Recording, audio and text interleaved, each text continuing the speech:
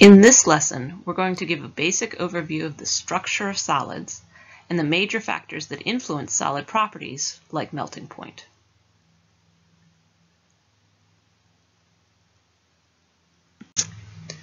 So solids are a little more complex than liquids. They are made up of close packed particles, like liquids. However, unlike liquids, the particles don't flow past each other. They're in relatively fixed positions. Solids come in a wider variety of forms, but ultimately we can categorize them into two major classes, crystalline or amorphous. The difference between the two relates to the order of the particles. In crystalline solids, the particles are ordered in a regular repeating pattern. And there are a wide variety of different patterns possible depending upon the type of particles involved. And this is what results in so many different types of crystals. In contrast, for amorphous solids, the particles are not organized in a regular repeating pattern. And the solid on the larger scale doesn't show a regular shape either.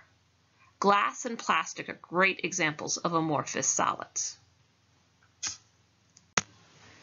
Here you see drawings of a crystalline form of silicon dioxide on the left and an amorphous form on the right. The regular repeating structure of the crystalline form influences the shape of the crystal on the large scale. And this is a picture of the quartz crystal. This is what that regular repeating pattern actually results in on the macroscopic scale. The amorphous form, though, does not form crystals. Instead, we have glass and irregular solid shapes like these silica beads. So solids can also be classified as ionic, network covalent, metallic, or molecular. The differences between these categories depend on the type of particles in the solid and the forces holding them in place.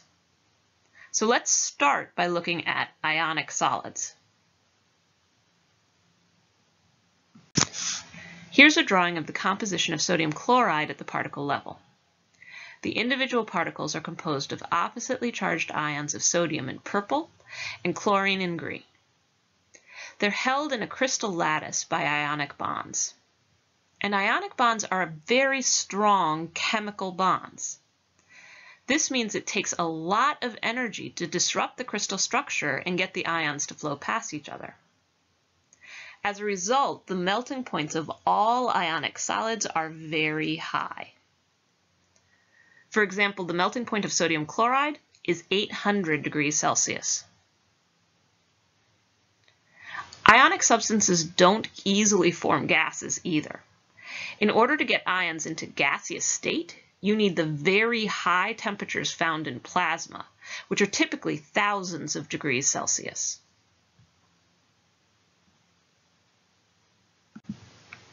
Network covalent solids are made up of neutral atoms that are covalently bonded together into a large network. Examples include things like diamonds and silicon dioxide, which makes up quartz and glass. The minerals found in rocks are often network covalent solids.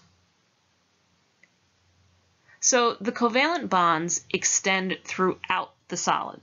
These aren't individual molecules, but really large networks of covalently bonded atoms. And we can characterize them by individually repeating units like we do in ionic crystals. So here we see the individual repeating unit for diamond, which is made up of all carbon atoms. And here is the unit for silicon dioxide, which is silicon and oxygen atoms. Below, you see a section of the larger network of these units with covalent bonds extending throughout to make up the solid as a whole. And because these atoms are held in place by strong chemical bonds again, the melting points of these types of solids are very high. Diamonds, for example, have melting points of 4,000 degrees Celsius while quartz melts at temperatures over 1600 degrees Celsius.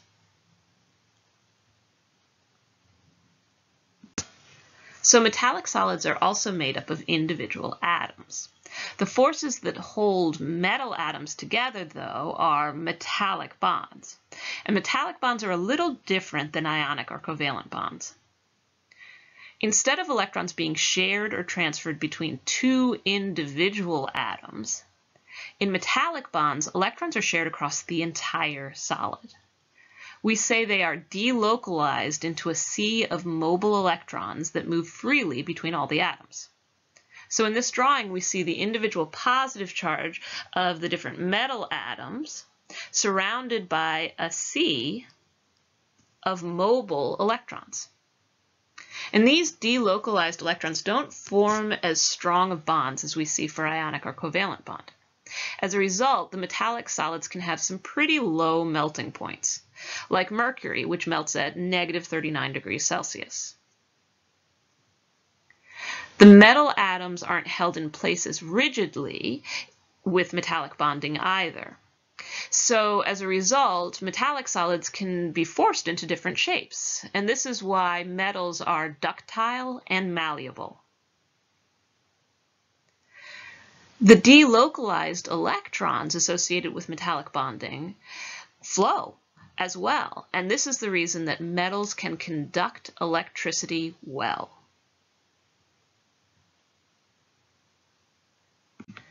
The last type of solid is a molecular solid. So these are distinctly different than the network solids. The particles in this type of solid are not considered individual atoms, but molecules. And the molecules are held in place by intermolecular forces. And as you know, intermolecular forces are much weaker than actual chemical bonds. As a result, these solids tend to have much lower melting points dry ice, which is made up of carbon dioxide, regular ice, made up of water molecules, of course, and iodine are all examples of molecular solids. It's important to note that these substances do contain co covalent bonds.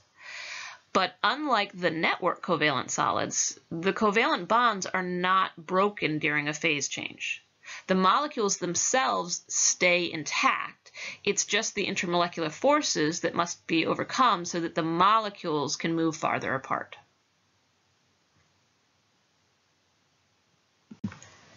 In summary, solids can be classified as crystalline or amorphous, depending on the pattern of the particles making them up. Solids can also be classified as ionic, network covalent, metallic, or molecular based on the type of particles in the solid and the forces holding them in place.